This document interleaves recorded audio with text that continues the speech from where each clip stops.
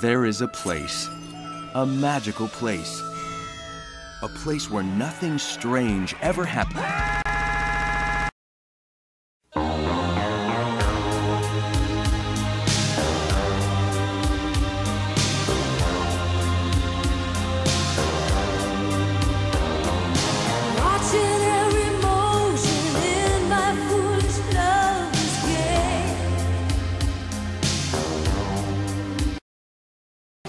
And now back to Amphibia on Disney XD.